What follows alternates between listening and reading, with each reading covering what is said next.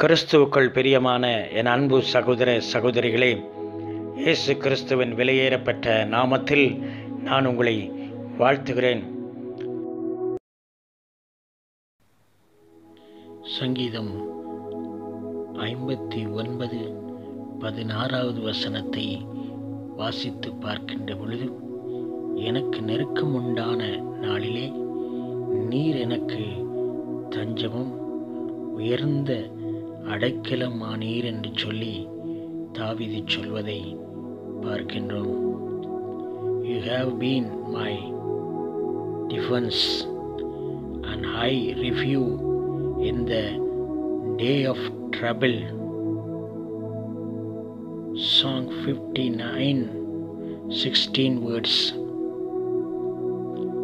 என கண்முக்குரிய தெய்வ பிள்ளைகளே இந்த நாட்களிலும் நம்ம ஊருடைய வாழ்க்கையிலும் நெருக்கங்கள் உண்டாகின்ற பொழுது நமக்கு தஞ்சம் நமக்கு அடைக்கலம் நமக்கு உதவி செய்யக்கூடிய ஒரு நல்ல ஆண்டவராக ஆண்டவராகிய இயேசு கிறிஸ்து இருக்கின்றார்.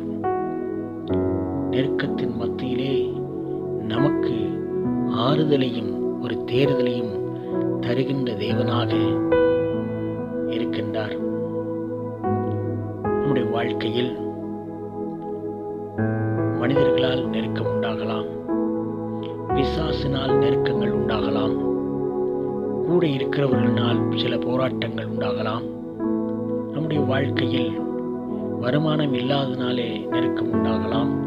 சரீரத்திலே நல்ல சுகம் இல்லாதனாலே நெருக்கம் உண்டாகலாம். ஊழியத்திலே நெருக்கங்கள் உண்டாகலாம்.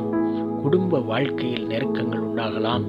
நம்முடைய பிள்ளைகள் நம்மை மதிக்காமல் நெருக்கத்தை உண்டாக்கலாம்.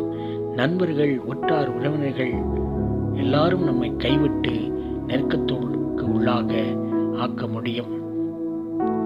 நமக்கு வரக்கூடிய வருமானங்கள் சில நேரங்களில் நமக்கு நெருக்கத்தை உண்டாக்கக்கூடும்.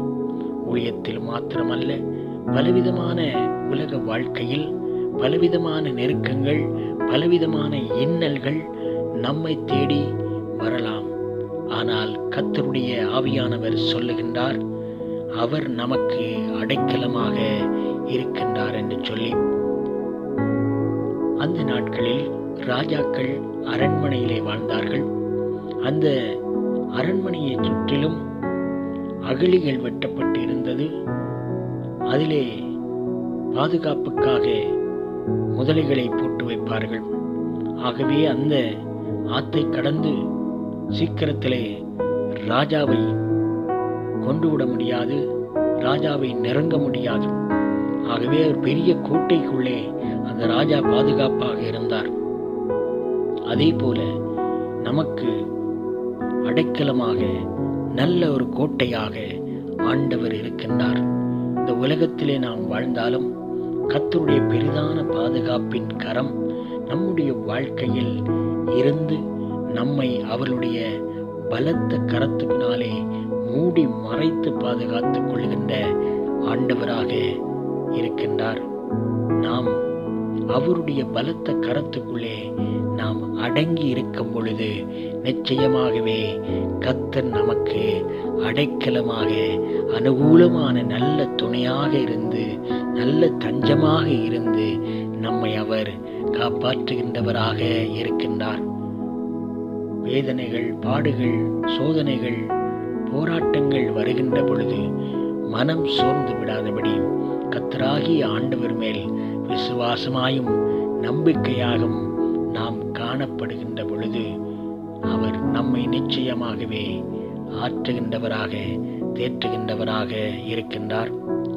செல்வ செழிப்போடு நல்ல வஸ்திரம் தரிக்கப்பட்டவனாய் மிகவும் தகப்பனால் அன்பாய் வளர்க்கப்பட்ட மகன்தான் ஜோசேப்பு. ஆனால் தன்னுடைய சொந்த சகோதரர்களாலே அவன் அடிமையாக விற்கப்பட்டு போய் வேதனைப்பட்டான்.